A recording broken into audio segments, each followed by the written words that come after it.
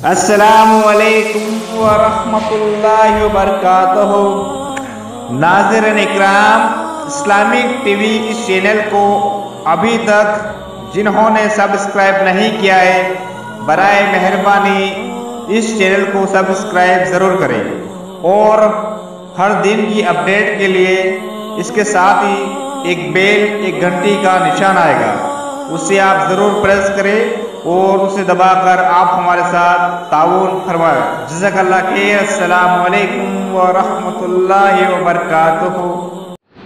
نحمده سبحانه وتعالى ونستعينه ونؤمن به ونتوكل عليه ونعوذ بالله من شرور أنفسنا ومن سيئات أعمالنا من يهده الله فلا مضل له ومن يضله فلا هادي له وأشهد أن لا إله إلا الله وأشهد أن محمدا صلى الله عليه وسلم عبده ورسوله. أما بعد فأوصيكم ونفسي اولا بتقوى الله تعالى. يقول الله عز وجل يا أيها الذين آمنوا اتقوا الله حق تقاته. يا أيها الذين آمنوا اتقوا الله حق تقاته ولا تموتن إلا وأنتم مسلمون.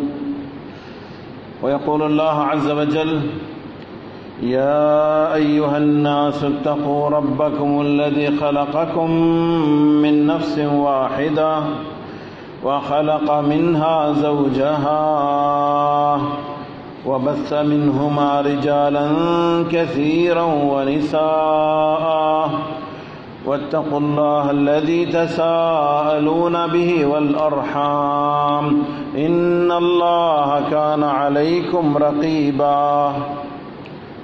ويقول الله عز وجل يا أيها الذين آمنوا اتقوا الله وقولوا قولا سديدا.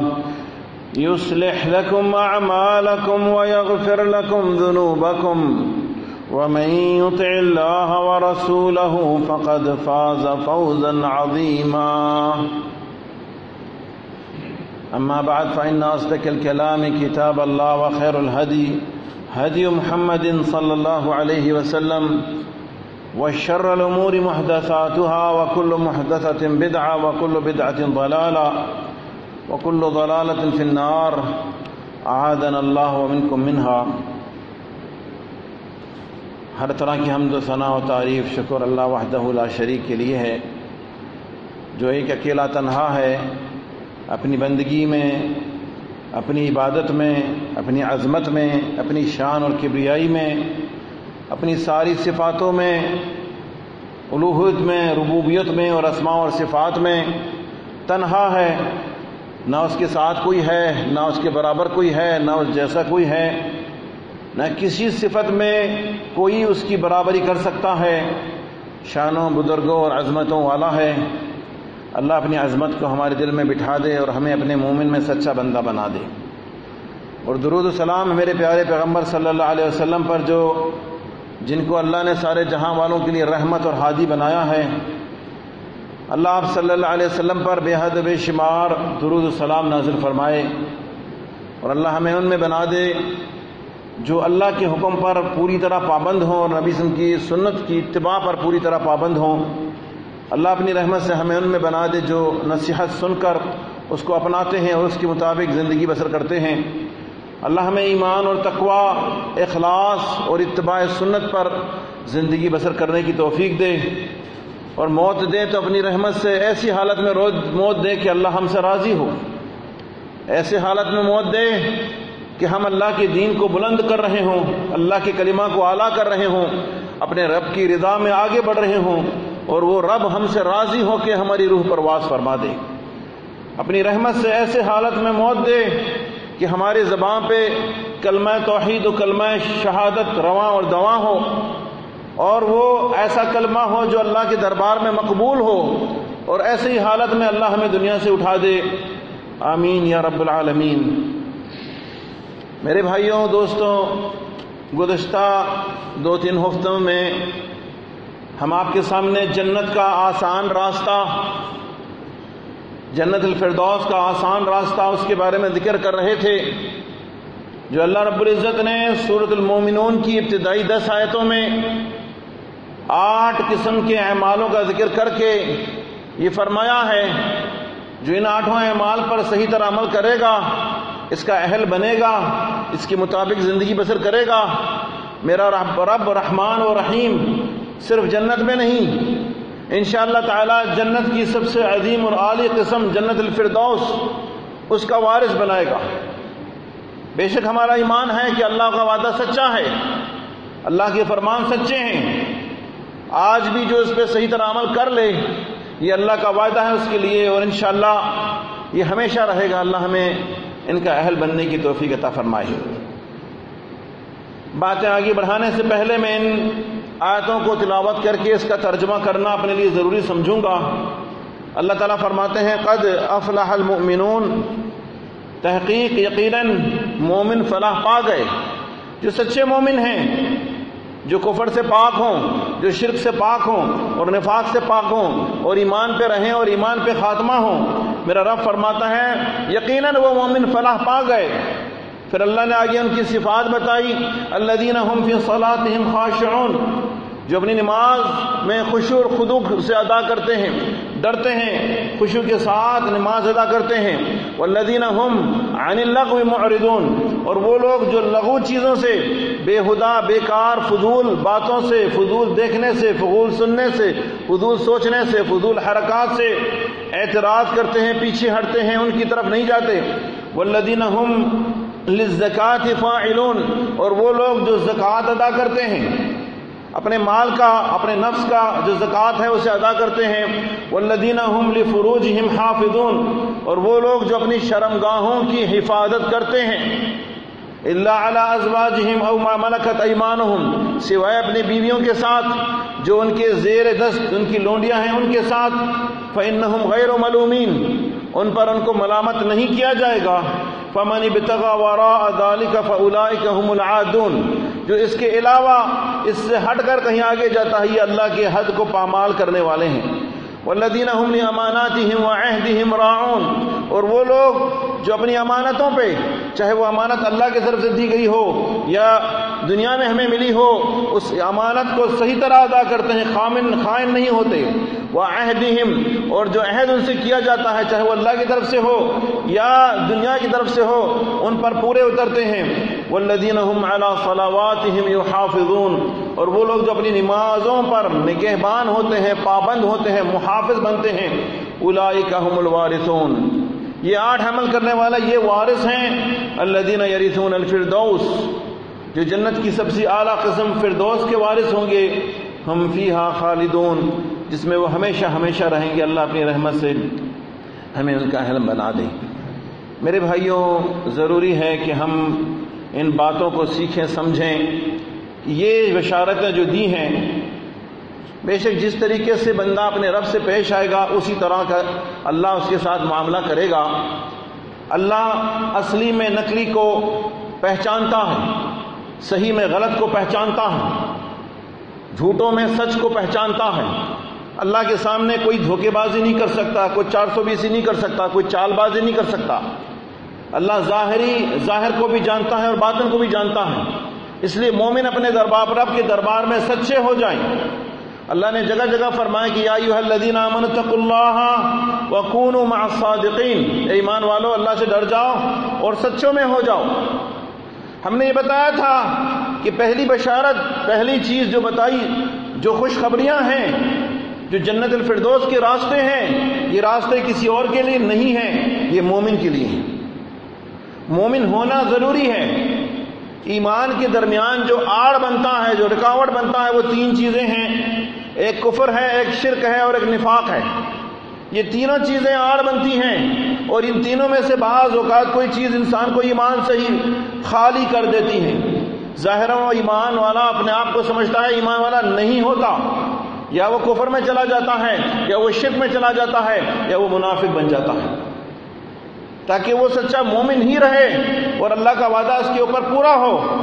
وہ اپنی ایمان کی تحقیق کرے۔ گزشتہ دو خطبوں میں میں نے کفر کے بارے میں ذکر کی۔ کفر اور شرک کے بارے میں کہ کفر ایک خطرناک عمل ہے اور کفر کا اصل معنی انکار ہے، نہ ماننا ہے، رد کرنا ہے۔ جو اللہ کے فرامین، اللہ کے حکم کا انکار کرتے ہیں، مومن کی شان نہیں ہے یہ۔ تو مسلمان انکار سے بچیں۔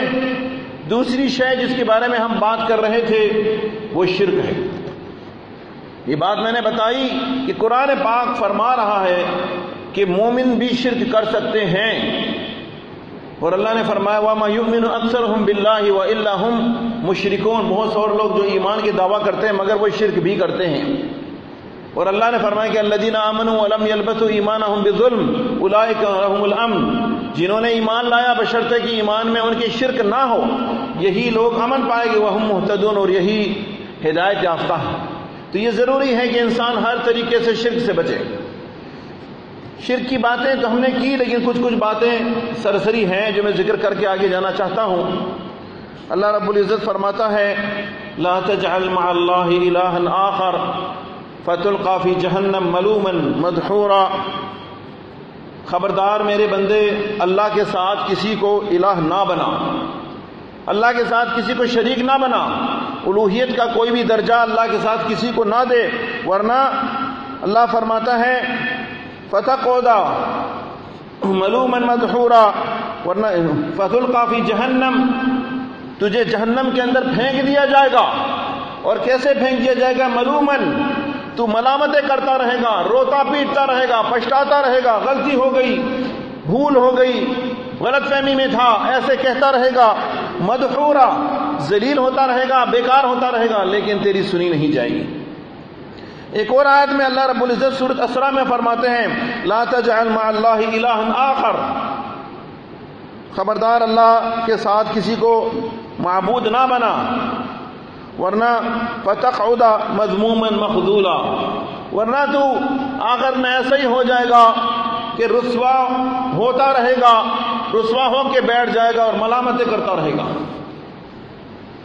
سورت قاف کی ایک آیت میں اللہ رب العزت فرماتا ہے الذي جعل مع الله الها آخر فالقياه في العذاب الشديد یاد رکھو، جس نے اللہ کے ساتھ کسی اور کو الہ بنایا اللہ کے ساتھ کسی اور کو شریک بنایا، ٹھہرایا۔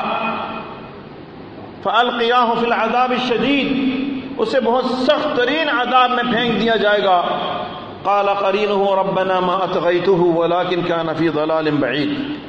اس کا جو قرین ہوگا، جو اس کی راہ پہ سے لے جانے والا ہوگا، وہ مولوی جو اس کو شرک کا راہ دکھایا ہوگا، وہ گھر والے جو اس کی شرک کی راہ دکھائے ہوں گے، جو دوست جو ان کے اس کے راہ میں لے جانے والے ہوں گے، وہ کہے گا، ربنا ما اتغیتہ پروردگار۔ میں نے نافرمانی نہیں کی، ولیکن کان فی ضلال بعید۔ یہ خود گمراہی میں پڑا ہوا تھا۔ اللہ فرمائے، قال، لا تختصموا لدي وقد قدمت اليكم بالوعید آج میرے سامنے تم دونوں نہ جھگڑو۔ میں اپنی وعید پہلے بتا چکا ہوں۔ ما يبدل القول لدي وما انا بظلام للعبید میرے پاس بات نہیں بدلتی اور میں بندوں پہ ظلم کرنے والا بھی نہیں۔ یوم نقول لجہنم، هل امتلاتی کل ہم جہنم سے پوچھیں گے۔ یعنی لوگوں کو جہنم میں ڈال ڈال کے ڈال ڈال کے جب جہنم بھر جائے گی، ہم پوچھیں گے حلم تلاتی جہنم کیا تو بھر گئی ہے وَيَقُولُ هَلْ مِن مزید اور جہنم کہے گا کہ اللہ اور اور مزید عطا فرما، اور لوگوں کو میرے اندر ڈال دے۔ اللہ اپنی رحمت سے ہم سب کو بچا دے۔ اللہ ہم سب سب کو بچا دے۔ میرے بھائیوں، حضرت یوسف علیہ السلام کا ذکر اللہ نے یوسف میں فرمایا، جب یوسف علیہ السلام جیل میں تھے، آزمائش میں تھے، اور ان کے پاس کچھ لوگ تعبیر اپنے خوابوں کا پوچھنے آئے تھے۔ ان کو توحید اور اللہ کی وحدانیت کی نصیحت کرتے ہوئے انہوں نے کہا کہ، یا صاحب السجن، اے میرے جیلی ساتھیوں ارباب متفرقون خیر ام اللہ الواحد القہار؟ کیا در بدر ربوں کے پیچھے ٹھوکرے کھانا کبھی اس مزار پہ، کبھی اس مزار پہ، کبھی اس بدھ کے سامنے، کبھی اس استانے کے سامنے، کبھی اس سے اولاد مانگنا، کبھی اس سے رزق مانگنا، کبھی اس سے یہ مانگنا، کبھی اس کے لیے چڑھا چڑھانا، کبھی اس کے لیے نظر کرنا، در بدر ٹھوکرے کھاتے رہنا، لوگوں کے دھوکے اور اس کے اس میں آنے جانا، کوئی تمہاری عزت سے کھیل رہا ہے، کوئی تمہاری دین سے کھیل رہا ہے، تو کوئی تمہیں ذلیل کر رہا ہے۔ ارباب متفرقون خیر۔ کبھی اس کے سر سامنے سر جھکانا، کبھی اس کے سامنے جھکنا، کبھی اس کے سامنے عاجز ہونا، یہ در بدر کی ٹھوکرے کھانا، یہ متفرق ارباب یہ بہتر ہیں۔ ام اللہ الواحد القہار، یہ ایک اللہ جو قاہر ہے، مختار ہے، اس کا ہر شے کر سکتا ہے، ہر چیز کی قدرت ہے۔ ما تعبدون من دونه الا اسماء سميتموها انتم واباؤكم جو اللہ کے علاوہ جن کے پاس تم جا رہے ہو، جن سے مانگ رہے ہو، جنہیں اپنے حاجت روا، مشکل کشا سمجھ رہے ہو، بگڑی بنانے والے بنائے ہو، تم نے ان کو نام دی، اس کو دستگیر دی، اس کو ملنگ دے دی، اس کو حاجت روا لے دی، اس کو مشکل کشا دے دی، اس کو روزی دینے والا بنا دی، اس کو رزق دینے والا بنا دی، اس کو جو ہے پار کرنے والا بنا دی۔ ان ہی اللہ اسماء سميتموها یہ نام ہے جو تم نے خود رکھے ہیں۔ ما انزل اللہ بها من سلطان۔ اللہ رب العزت نے اس بارے میں کوئی دلیل نازل نہیں کی۔ قرآن پاک میں نہیں ہے، حدیث میں نہیں ہے کہ یہ اختیارات انہیں دے دیا ہے گیا ہے۔ یہ اپنے خیال پہ جا رہے ہیں اور اللہ کے دربار میں خیال کی کوئی حقیقت نہیں ہے۔ میرے بھائیوں، آج افسوس ہے، اپنے آپ کو مسلمان کہنے والا آج در بدر ہو کر کھا رہا ہے۔ اللہ اس کے نبی کے کلمہ کو پڑھنے والا، کلمہ پڑھ کے توحید کیا، اقرار کرنے والا کسی کو کہتا ہے یہ روزی دینے والا ہے، کسی کو کہتا ہے یہ اولاد دینے والا ہے، کسی کے سامنے سر ٹیک رہا ہے، کسی کے آگے طواف کر رہا ہے، کسی کے سامنے رو کے در دعا کر رہا ہے، اللہ کے گھر ویران ہو گئے ہیں۔ اللہ کی قسم، اللہ کے گھر ویران ہو گئے ہیں۔ غیروں کے پاس جا کے تو آجزی سے رو کے فریاد کرتا ہے، اللہ کے سامنے تو رونا بھی بیچارے کو نہیں آتا۔ میرے بھائیوں، ہم لوٹ آئے اپنی اللہ کی طرف۔ اللہ کے علاوہ کسی غیر کے در پہ جانا سوائے رسوائی اور ذلت کے اور کچھ نہیں ہے۔ وہ در بدر ٹھوکرے ہی کھاتا رہے گا۔ اس کی مقصد مرادیں پوری نہیں ہونے والی۔ نہیں ہونے والی۔ اللہ کی طرف لوٹ آئیں۔ میرا رب فرماتا ہے ففر اللہ میرے بندوں لوٹ آؤ اللہ کی طرف۔ انی لکم منہ نذیر مبین۔ اس معاملے میں میں کھل کے تمہیں ڈرانے والا ہوں۔ ولا تجعلوا مع اللہ الہ آخر۔ خبردار اللہ کے سوا، کسی کو اور الہ نہ بناؤ، معبود نہ بناؤ، اللہ کا درجہ نہ دو نہ دو۔ انی لکم منہ نذیر مبین۔ میں اس معاملے میں تمہیں کھل کر ڈرا دینے والا ہوں۔ اللہ ہمیں سمجھنے کی توفیق عطا فرمائے اور اللہ ہمیں اپنی ذات کی طرف لوٹنے کی توفیق عطا فرمائے۔ میرے بھائیوں، اللہ کی طرف لوٹ آئیں اور سچی توحید، اللہ کی توحید کو سیکھیں، اسلام کو سیکھیں، اس کلمہ کو سیکھیں اور اس کے مطابق زندگی بسر کریں۔ اگر ایمان میں سچے ہوں گے تو اللہ کے دربار میں قبول ہوں گے۔ اگر ایمان میں شرک کی غلازت ہوگی، اللہ کی قسم اللہ اس غلیظ شرک، ایمان کو نہیں چاہتا۔ ایمان کی دعویٰ کرنے والے تو اہل کتاب بھی تھے۔ ایمان کی دعویٰ کرنے والے اہل کتاب بھی تھے۔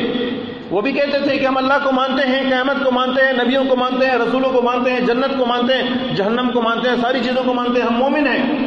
میرے نبی نے جب ان کو دعوت دی تو انہوں نے کہا، آپ کس چیز کی، کون سی ایمان کی دعوت دے رہے ہم تو پہلے سے ایمان والے ہیں۔ اللہ نے ان کی گناہوں کا ذکر کرنے کے بعد فرمایا ان سے کہہ دیجیے، اگر تو واقعی تم ایمان والے ہو، تو تمہارا ایمان تمہیں بری طرف لے جا رہا ہے۔ سما یا مرکم بھی ایمان حکم تمہارا ایمان تمہیں غلط حکم دے رہا ہے۔ اگر تم مومن ہو، کہیں ایمان دھوکے کا، نقلی ایمان نہ ہو میرے بھائی، اصلی ایمان کی طرف، حق کی طرف آ جائیں۔ شرک کی ہر دروازے کو اسلام نے بند کیا ہے اور شرک ہر طرح کی اسلام نے ہمیں منع کیا ہے۔ اور جیسے میں نے گزشتہ ہفتے بتایا تھا، میرے نبی صلی اللہ علیہ وسلم نے معاذ بن جبل سے کہا تھا لا تشرک باللہ ولو قتلت او حرقت تھا قتل کر دیا جائے تو قتل ہونے کے لیے تیار ہو جا۔ جلا دیا جائے زندہ جلنے کے لیے تیار ہو جا۔ شرک کرنے کے لیے تیار نہ ہو۔ شرک کرنے کے لیے تیار نہ ہو۔ میرے نبی علیہ السلاۃ السلام بیٹھے ہوئے ہیں۔ ایک صحابی آتے ہیں، کہتے ہیں، لو شاء اللہ وشت اگر اللہ چاہے اور آپ چاہیں میرے نبی نے یہ الفاظ سنتے ہی فرما دیا اجعلتنی للہ تو نے مجھے اللہ کا شریک بنا دیا، اللہ کا برابر بنا دیا۔ تو کہتا ہے، اگر اللہ چاہے اور میں چاہوں۔ بل قل ما شاء اللہ وحدہ۔ بلکہ کہو، وہی اللہ اکیلا جو چاہے وہی ہوتا ہے۔ میرے نبی تو صحابہ کو ٹوک رہے ہیں۔ ان کی تو نیتیں بھی ایسی نہیں تھی میرے نبی ان کو ٹوک رہے ہیں۔ ایک صحابی نے ایک تابعی کے گلے میں تعویذ لڑکی بھی دیکھی تو کہنے لگے کہ اللہ تعالیٰ سچ فرماتے ہیں۔ وَمَا يُؤْمِنُ أَكْثَرُهُمْ بِاللَّهِ وَإِلَّا هُمْ وَهُمْ مُشْرِكُونَ۔ اکثر لوگ اللہ پر ایمان تو لاتے ہیں، مگر پھر بھی وہ شرک میں مبتلا ہیں۔ وہ تعویذ تو شرک کہہ رہے تھے۔ آج ہمارے سمجھ میں نہیں آتی۔ احادیث بیان کیا جاتا ہے، سمجھایا جاتا ہے۔ مولوی ٹال مٹول کرتے ہیں، تحویلات کرتے ہیں اور مانتے نہیں۔ جو صحیح حدیثیں مانتے نہیں۔ آج بڑے بڑے مولویاں لگے ہوئے ہیں، اس بات پہ لگے ہوئے کہ یہ لوگ تو وہاں بھی ہیں۔ یہ کہتے ہیں یہ مزار پہ جانے والا شرک کر رہا ہے۔ مسلمان کیسے شرک کر سکتا ہے؟ یہ وہاں جا کے سجدہ کرتے ہیں، انہیں شرک نظر نہیں آتا۔ یہ وہاں جا کے طواف کر رہے ہیں، انہیں شرک نظر نہیں آتا۔ یہ وہاں جا کے غیر اللہ کے لیے نماز پڑھ رہے ہیں، انہیں شرک نظر نہیں آتا۔ یہ غیر کے سامنے رو کے مانگ رہے ہیں، انہیں شرک نظر نہیں آتا۔ ہر چیز ہوتا ہے، انہیں شرک نظر نہیں آتا۔ اللہ ان کی آنکھوں کی بینائی کو لوٹا دے۔ میرے بھائیوں، یہ مولویاں ہمیں نفع نہیں دیں گی۔ اور قیامت کے دن انکار کر لیں گے اگر ہم ان کی اتباع کریں گے۔ حق کو سمجھیں اور حق کی طرف آئیں اور ہر طرح کی شرک سے بچنے کی کوشش کریں۔ اللہ سے بھی مانگیں شرک کی پناہ اور خود بھی بچیں۔ وہ وقت نہیں ہے، موضوع نہیں ہے کہ میں شرک کی اقسام اور شرک بتاؤں۔ انسان وہ سمجھ سکتا ہے، لیکن یہ بات کہہ کہ میں آگے قدم بڑھاؤں گا۔ اللہ کے لیے شرک سے بچیں۔ اور توحید کو سیکھیں اور شرک کی قسموں کو سیکھیں اور اللہ سے فریاد کریں کہ اللہ تعالیٰ ہی ہمیں شرک سے پاک کرے اور ایمان کے ساتھ اور توحید کے ساتھ ہمارا خاتمہ ہو تاکہ ہم ایمان کے ساتھ ہوں تو یہ آگے بشارتیں ہمیں مل سکیں۔ اسی طرح میرے بھائیوں، ساتھیوں، ایمان کے بیچ میں رکاوٹ جو ایک ہوتی ہے یا ایمان کو ایمان سے نکال دینے والا اور ایمان کا نام لینے والا ایمان سے ہی نکل جائے، اس میں ایک نفاق ہے۔ ایک نفاق ہے۔ نفاق کی معنی اور مفہوم تشریح کرو تو بات لمبی ہو جائے گی۔ میں چھوٹے الفاظوں میں مختصر بتاتا ہوں۔ نفاق کا مطلب ہے نقلی ایمان والا۔ نقلی ایمان والا اصلی نہیں۔ ظاہراً تو وہ شخص کلمہ بھی پڑھ چکا ہوتا ہے، نمازیں پڑھتے ہوئے بھی نظر آتا ہے، ایمان کی چیزیں کرتے ہوئے نظر آتا ہے، لیکن اندر سے کھوٹا ہوتا ہے۔ اندر سے جیسے آج کل ہم دیکھتے ہیں، ہزار کے نوٹ بنے ہوئے ہیں۔ کسی شخص نے کچھ عرصے پہلے مجھے دکھایا ایک نوٹ، ہزار کا نوٹ تھا، اس کے دائیں بائیں ہر جگہ میں نے دیکھا۔ وہ کسی طرح بھی نظر نہیں آ رہا تھا، نقلی ہے۔ اس نے کہا ہے کہ بینک سے ریزلٹ ہو گیا، کہتا ہے نقلی ہے۔ کہتا ہے نا، آج ایک مشین، دنیا کی نشین انسان نے جو بنائی ہے، وہ غلط اور صحیح میں فرق کر سکتی ہے۔ اس میں نوٹ ڈالتے ہوئے نکال کے باہر پھینک دیتی ہے کہ یہ اصلی نہیں۔ کیا میرا اللہ دل کی بھیدوں کو نہیں جانتا؟ کیا میرا اللہ اصلی اور نقلی کو نہیں جانتا؟ بے شک جانتا۔ اس لیے سچے ہو کہ اللہ کے دربار میں پیش ہو جائیں۔ نفاق کے بارے میں قرآن پاک میں کچھ آیتیں ہیں سرسری میں ان کا ذکر کرتے ہوئے جاؤں۔ اللہ رب العزت فرماتا ہے ان المنافقین فی الدرک الاسفل من النار ولن تجد لهم نصیرا یقینا جو منافق ہیں، نفاق میں رہتے ہیں، نفاق میں مرتے ہیں، وہ جہنم کے سب سے نیچے کھڈے میں رہیں گے، سب سے سخت عذاب میں رہیں گے۔ ولن تجد لهم نصیرا ہرگز ان کا کوئی مدد کرنے والا نہیں ہوگا۔ دیکھ لیں اپنے رب کے کلام کو۔ دوسری آیت میں اللہ فرماتا بشر المنافقین بان لهم عذابا الیما اے میرے نبی، منافقوں کو خوشخبری دے دیں یعنی یہ تانا ہے ان کے لیے، تانا دیا جا رہا ہے، خوشخبری دے دیں بان لهم عذابا الیما ان کے لیے درد پہنچانے والا عذاب ہے۔ کون سے؟ الذين يتخذون الكافرين اولیاء من دون المؤمنین۔ جنہوں نے مومنوں کی راہ کو چھوڑ کے کافروں کی راہ اختیار کیا، انہیں اپنا دوست ساتھی بنایا۔ اور جب تک العزہ۔ میرا رب فرماتے ہیں کہ یا ان کے پاس عزت چاہتے ہیں۔ وہ ان العزت اللہ جمیان وہ یقیناً عزت تو ساری اللہ کی ہے۔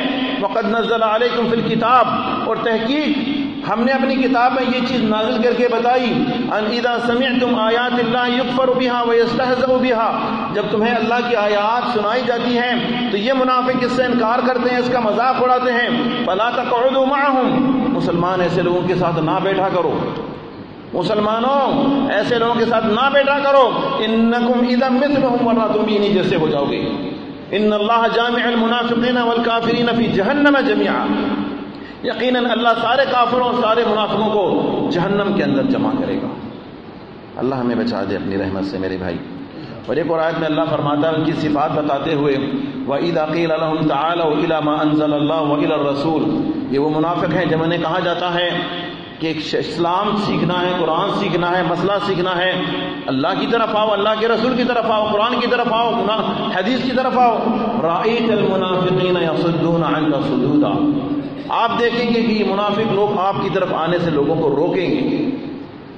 اللہ کے لیے ہم غور کریں، میرے بھائیوں، یہ صفاتیں ہماری ہیں آج۔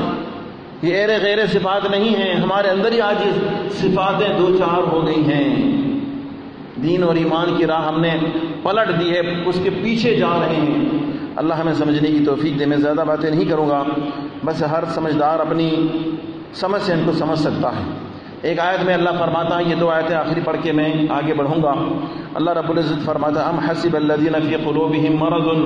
اللہ یخرج اللہ ادغانہم۔ یاد رکھو میرے بندے، کیا وہ لوگ سمجھتے ہیں کہ جن کی دلوں میں مرض ہے، نفاق ہے؟ اندر تو نفاق ہے وہ ظاہر نفاق کو ظاہر نہیں کرتے۔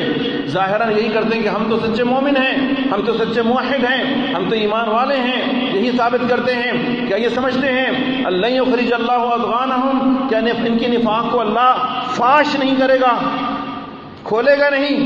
لوگوں کے سامنے واضح نہیں کرے گا۔ وہ لو نشا الا کہوں میرے نبی، اگر ہم چاہیں تو ہم آپ کو ان کو دکھا دیں۔ فلا عرف تو ہم بھی سیما ہوں آپ خود ان خود ان کی چہروں سے انہیں پہچان دیں گے۔ فلا عرف تو ہم فی لہن القول۔ اور ان کی باتوں کی لچک سے انہیں پہچان لیں گے۔ واللہ یعلم اعمالکم اور اللہ تمہارے اعمالوں کو خوب جانتا ہے۔ جو دو نمبری مومن ہوتے ہیں، وہ پہچان لیے جاتے ہیں۔ اور اللہ تعالیٰ اگر چاہے گا تو ان کی راز کو فاش کر دے گا۔ اللہ کی قسم صحیح حدیثوں میں ہے۔ جو نبی صلی اللہ علیہ وسلم کے زمانے میں بعض لوگ ایمان لائے تھے، میرے نبی کے ہاتھوں پہ ہاتھ رکھ کر بیعت کر کے انہوں نے کلمہ پڑھا تھا، لیکن اندر سے کھوٹے تھے۔ اندر سے نقلی تھے، اصلی نہیں تھے۔ میرے نبی صلی اللہ علیہ وسلم نے جمعے کی نماز میں، نماز کے بعد ایک ایک کی طرف اشارہ کر کے نام لے کے کہا، فلاں فلاں فلاں فلاں، نکل جاؤ مسجد سے۔ تم لوگ منافق، تم لوگ مسلمان نہیں ہو۔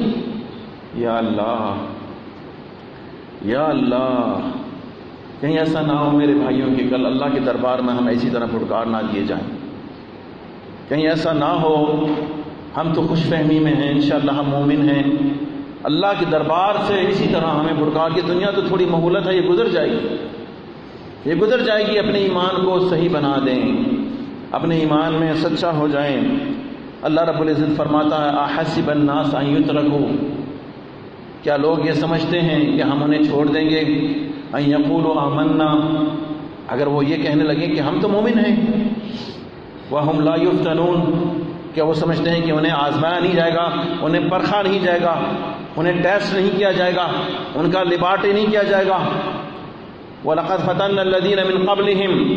ہم نے ان سے پہلے جتنی بھی قوم ہیں، جتنے بھی امت ہیں، جتنے بھی لوگ آئے، جتنے بھی ایمان کے دعوات کرنے والے تھے، ہم نے سب کو پرکھا چھانٹ دیا۔ وَلَقَدْ فَتَنَّ الَّذِينَ مِن قَبْلِهِمْ۔ ان سے پہلوں کو ہم نے چھانٹ کے فرق دیا۔ فَلَيَعْلَمَنَّ اللَّهُ الَّذِينَ صَدَقُوا وَلَيَعْلَمَنَّ الْكَاذِبُونَ۔ یہاں تک کہ اللہ نے جان لیا کون ان میں سچے ہیں اور کون جھوٹے ہیں۔ کون سچے ہیں، کون جھوٹے ہیں؟ اللہ سے فریاد کریں کہ اللہ ہمیں ایمان میں سچا بنا دے۔ ایمان مومنوں کی صحیح صفاتوں کو اپنانے والا بنا دے۔ اللہ ہمیں ہر برائیوں سے بچنے کی توفیق دے۔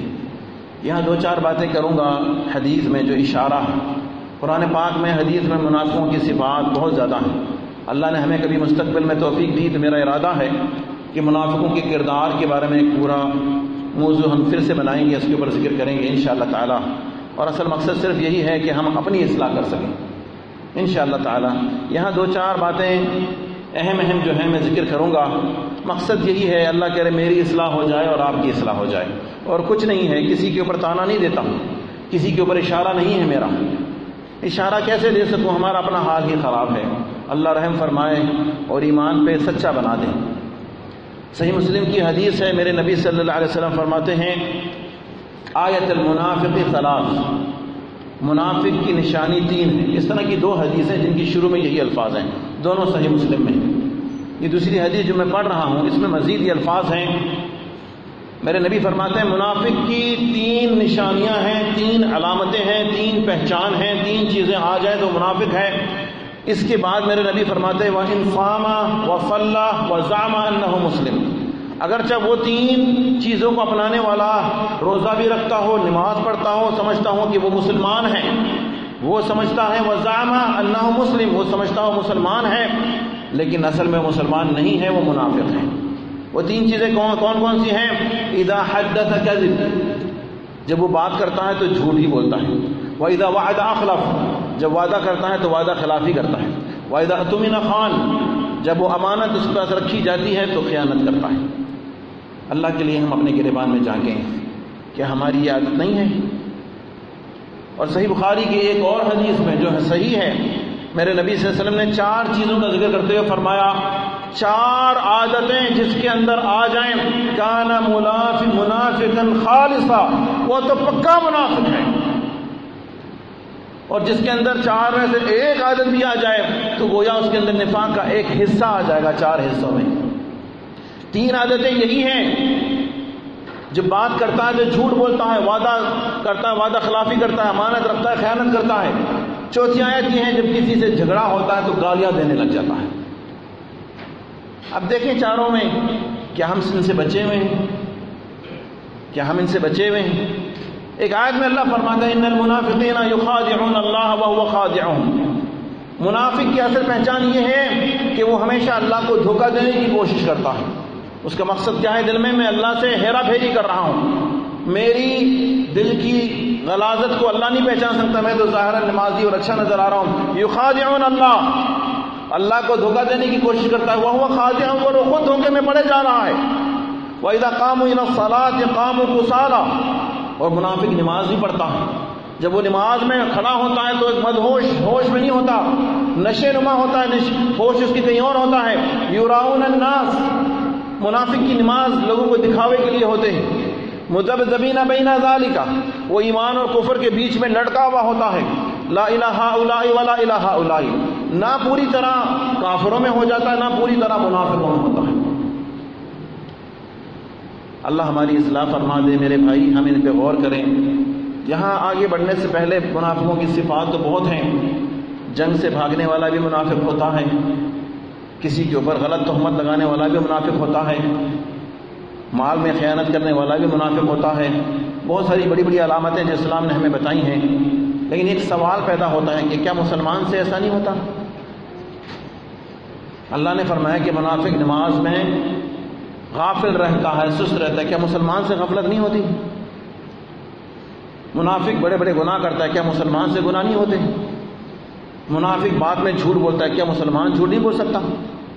منافق مال میں خیانت کرتا ہے، کیا مسلمان خیانت نہیں کر سکتا؟ منافق جو ہے وعدہ میں وعدہ خلافی کرتا ہے، کیا مسلمان نہیں کر سکتا؟ منافق جھگڑا ہو جائے تو گالیاں دیتا ہے، کیا مسلمان نہیں کر سکتا؟ بے شک کر سکتا ہے۔ پھر کیا فرق ہوا مسلمان مومن؟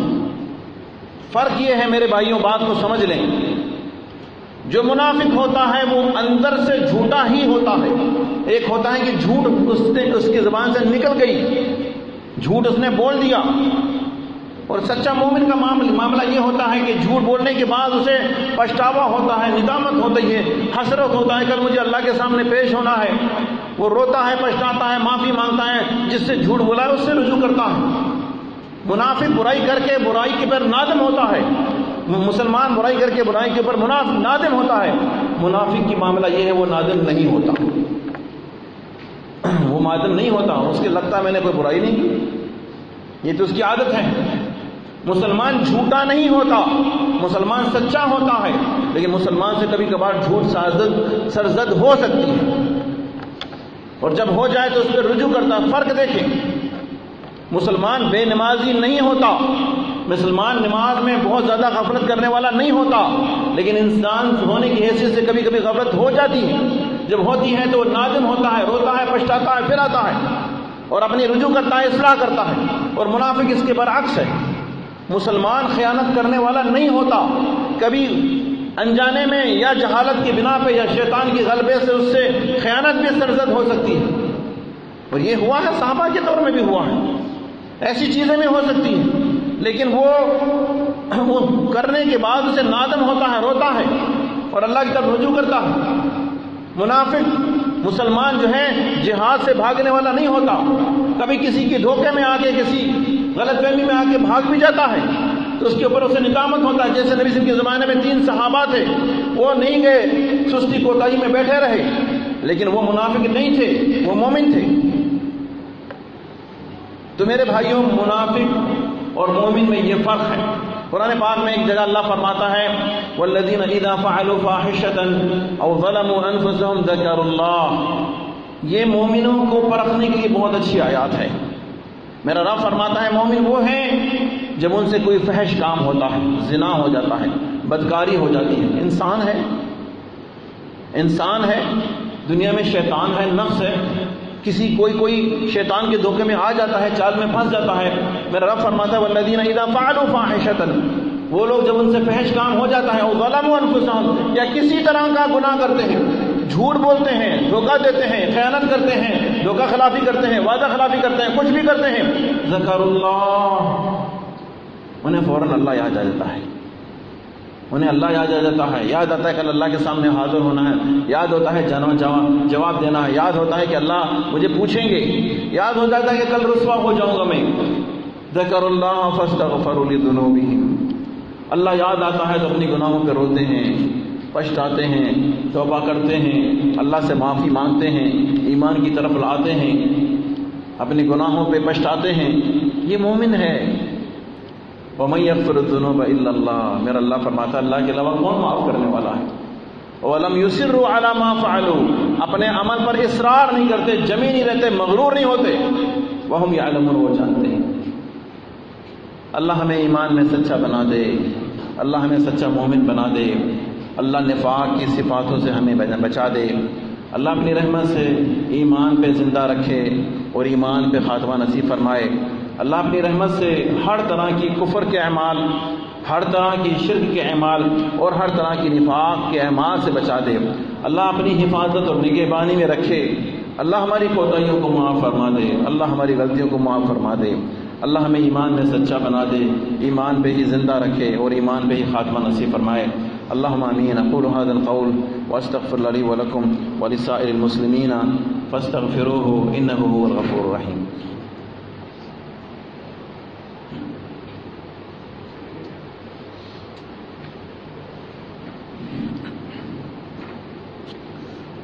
الحمد لله رب العالمين والعاقبة للمتقين ولا عدوان إلا على الظالمين والصلاة والسلام على أشرف الأنبياء والمرسلين سيدنا ونبينا ومولانا محمد وعلى آله وصحبه أجمعين میرے بھائیوں، یہ جو صفاتیں میں نے آپ سے بتائی ہیں، کفر کی صفاتیں، شرک کی صفاتیں اور نفاق کی صفاتیں آج کا دور بہت خطرناک دور ہے۔ آج دنیا میں بڑے فتنے جمے ہوئے ہیں بہت زیادہ۔ میں اپنی بات کو آگے بڑھانے سے پہلے ایک حدیث ضرور پڑھوں گا۔ اس حدیث کو میں بار بار پڑھتا ہوں، لیکن میرے علم کے مطابق یہ حدیث آج کے دور کے ہر ہر فرد کو یاد ہونی چاہیے اور اس حدیث پہ وہ پوری طرح عمل کرے۔ میرے نبی نے فرمایا تھا کہ بادرو بالاعمال۔ مسلمانوں اپنے آپ کو نیک اعمالوں کے ساتھ جوڑ دو، پابند کر دو، جڑ جاؤ، مجبور بنا دو اپنے آپ کو، پابند بنا دو اپنے آپ کو۔ نمازوں کے، روزے کے، زکوٰۃ کے، خیرات کے خیرات اللہ کے راہ میں دینے کے، اللہ کے سامنے توبہ کرنے کی، قرآن پاک کی تلاوت کرنے کی، ذکر اذکار کرنے کی، دوسرا اچھائی کرنے کی۔ اپنا ایک ٹائم ٹیبل بنا لو اور اپنے آپ کو دن رات کے اندر پابند کرا دو کہ تمہیں فرصت ہی نہ ملے۔ تم مشغول ہو جاؤ، پابند ہو جاؤ کہ ان کو چھوڑ نہ سکو۔ بادر بالاعمال اعمالوں میں جڑ جاؤ، پابند ہو جاؤ۔ فتن ان کا قطع اللیل مظلمہ تمہارے آگے اندھیری رات کی طرح تاریخ فتنے آ رہے ہیں۔ اندھیری رات کی طرح، یہ فتنے ہی ہیں جس میں، جس نے مسلمان کو شرک میں مبتلا کر دیا، مسلمان کو کفر تک لے گیا، مسلمان کو نفاق میں لے گیا، یہ فتنے ہی ہیں۔ یوسف عبد مؤمن و یمسی کافر و یمسی مؤمن و یوسف کافر بندہ جو صبح مومن تھا، شام کو کافر ہو جائے گا.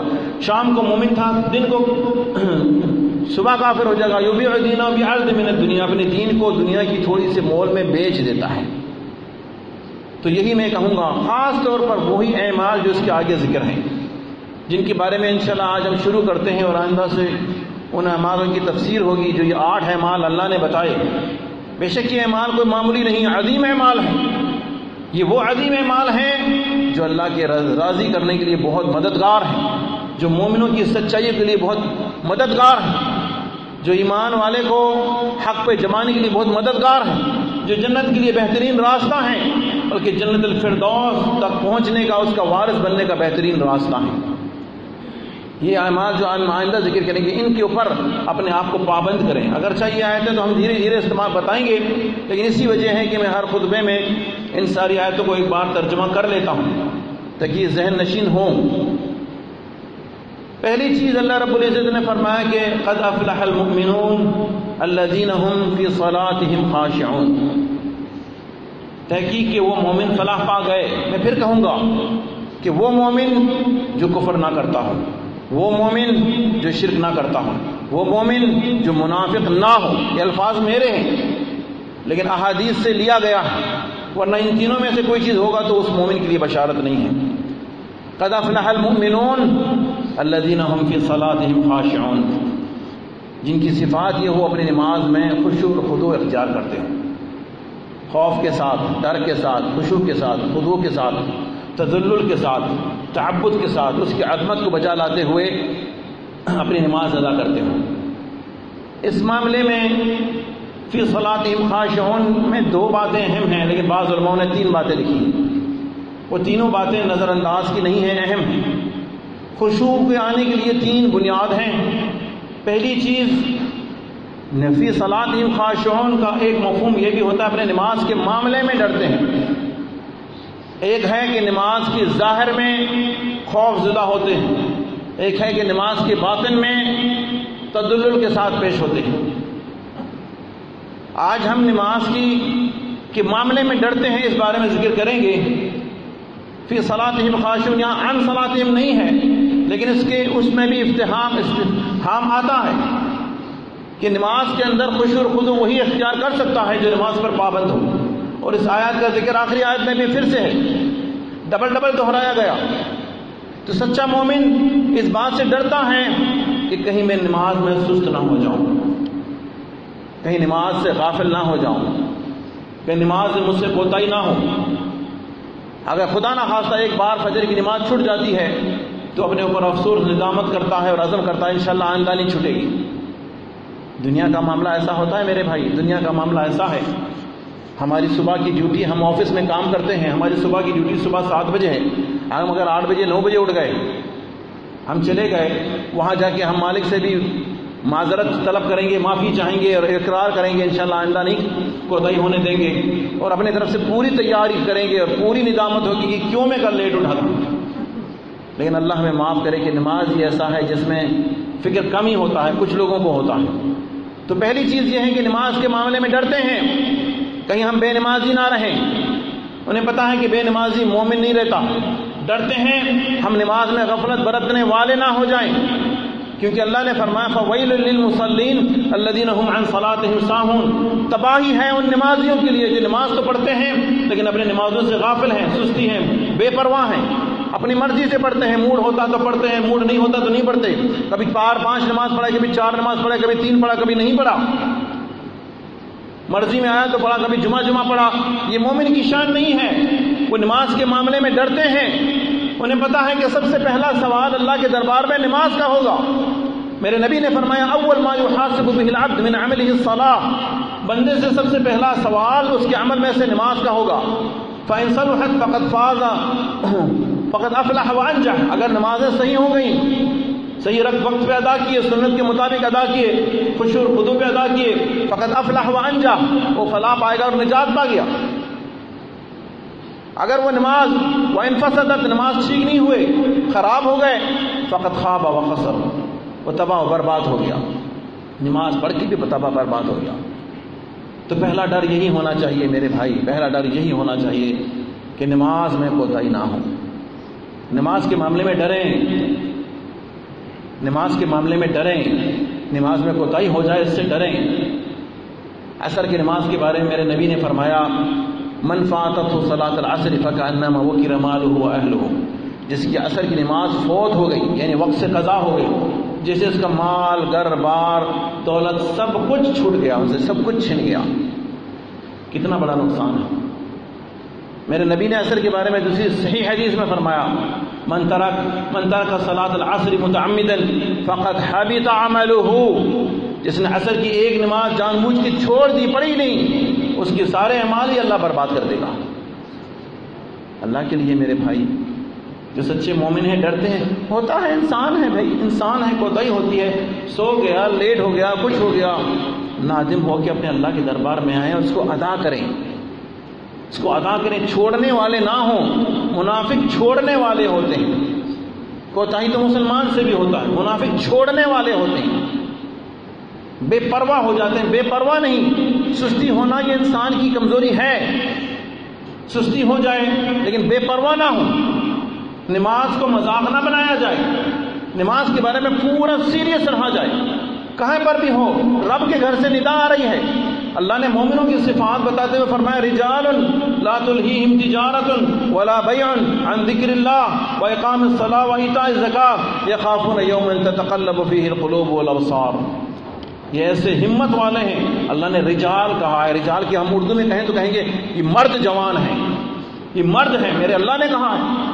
یہ مرد ہیں، یہ ہمت والے ہیں، یہ جوان ہیں۔ لا تلہیہم تجارت ولا بیع. ان کی خرید و فروخت، ان کی تجارت ان کو روک نہیں سکتی. عن ذکر اللہ اللہ کے ذکر سے اور نماز کو پابندی سے پڑھنے سے.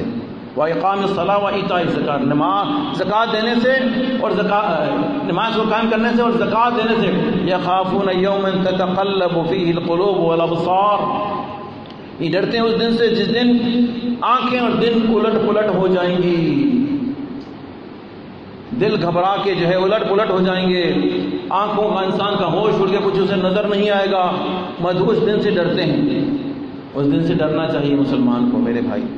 اللہ کے لیے آج تو ہمارا حال یہ ہے، میرے مسجدیں بھی ویران ہو جاتی ہیں میرے بھائی۔ مسجدوں ہر جگہ ہیں۔ مسجدیں بھی ویران ہو جاتی ہیں۔ مسجد گرد گرد اتنے مسلمان ہیں۔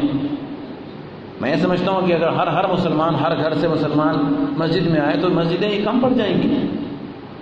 کسی مسجد میں ایک لین ہے، کسی میں آدھی لین ہے، کسی میں ڈیڑھ لین ہے، پورا پورا سال گزر جاتا ہے، کوئی اگر اچانک کوئی جشن کچھ ہو تو کچھ لوگ نظر آئیں ورنہ نظر نہیں آتے اللہ جانے کل اللہ کو ہم کیا جواب دیں گے؟ اللہ کے سامنے کیا منہ دکھائیں گے؟ اللہ ہماری اصلاح فرما دے اور ہمیں نصیحت دینے والوں میں بنا دے۔ ہمیں ان لوگوں میں بنائے جو نصیحت سن کے اس پہ عمل کرتے ہیں۔ اللہ تعالیٰ فرماتا ہے، یقیناً ان اللہ و ملائکۃ یصلون علی النبی، اللہ اور اس کے فرشتے اپنے پیارے پیغمبر حضرت محمد صلی اللہ علیہ وسلم پر درود بھیجتے ہیں۔ یا ایھا الذین آمنوا صلو علیہ وسلم تسلیما، اے ایمان والو، تم بھی اپنے پیغمبر پر سر درود اور سلام بھیجو۔ میرے نبی نے فرمایا تھا، من صلی علیہ صلاۃ واحدۃ صلی اللہ علیہ بہ عشرہ جو مجھ پر ایک بار درود بھیجے گا، اللہ دس بار اس پر اپنی درود اور رحمت نازل فرمائے گا۔ جب جب اللہ کے نبی کا نام سنیں میرے بھائی، جب جب سنیں، فوراً تو ادب کے ساتھ توجہ ہوتے ہوئے اپنے نبی سے پر درود السلام بھیجیں یہ آپ کا حق ہے۔ آپ صلی اللہ علیہ وسلم کا حق ہے۔ وہ تو وہ درودوں کو خاص کریں جو حدیث میں ہمیں سکھائی گئی ہیں۔ جس جس درود میں کوئی اختلاف نہیں ہے، ایسے درودوں کو نہ لیں جن میں لوگ اختلاف کر رہے ہیں۔ بعضوں نے کہا یہ شرک ہے، یہ بدعت ہے، ایسی چیزوں سے بچیں۔ اللهم صل على محمد وعلى آل محمد كما صليت على إبراهيم وعلى آل إبراهيم إنك حميد مجيد. اللهم بارك على محمد وعلى آل محمد كما باركت على إبراهيم وعلى آل إبراهيم إنك حميد مجيد. اللهم اغفر للمؤمنين والمؤمنات والمسلمين والمسلمات الأحياء منهم والأموات. إنك يا مولانا قريب مجيب دعوات اللهم أصلح لنا ديننا الذي هو عصمة أمرنا. وأصلح لنا دنيانا التي فيها معاشنا وأصلح لنا آخرتنا التي إليها معادنا. واجعل الحياة زيادة لنا في كل خير والموت راحة لنا من كل شر. اللهم آت نفوسنا تقواها. اللهم آت نفوسنا تقواها. اللهم آت نفوسنا تقواها. وزكها أنت خير من زكاها. أنت وليها ومولاها. اللهم حبب إلينا الإيمان. اللهم حبب إلينا الإيمان. وزينه في قلوبنا. وكره إلينا الكفر والفسوق والعصيان. واجعلنا اللهم جعلنا اللهم من الراشدين. اللهم حيينا على لا إله إلا الله وأمتنا على لا إله إلا الله وثبتنا في قبورنا على لا إله إلا الله. اللهم من أحييته منا فأحييه على الإسلام ومن توفيته منا فتوفه على الإيمان. اللهم آمين. أقول هذا القول واستغفر لي ولكم وسبحانك سبحان ربك رب العزة عما يصفون وسلام على المرسلين والحمد لله رب العالمين وأقيم الصلاة.